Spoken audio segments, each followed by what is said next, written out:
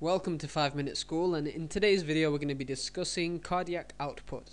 So the definition of cardiac output is the volume of blood which is pumped per minute by each ventricle. And to understand this further we must first be able to define what cardiac rate and stroke volume is.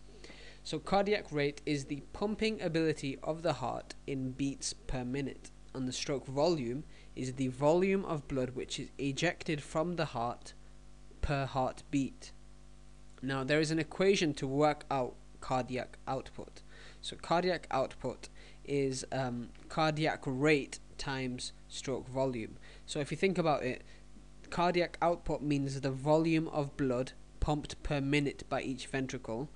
Cardiac rate is the pumping ability of the heart in beats per minute Stroke volume is volume of blood ejected from the heart per heartbeat, so it only makes sense that the cardiac output is these two figures, whatever they are, multiplied by each other. Now we're going to talk about a example of um, uh, these measurements. So we have a patient who has a cardiac rate of 70 beats per minute, and his stroke volume is measured at 75 milliliters per beat. Now, what is this patient's cardiac output? So, we implement the numbers which we've been given into this equation. So the cardiac rate is uh, 70 beats per minute and the stroke volume is 75 beats per minute. So we multiply them together and we get an answer which is 5,250.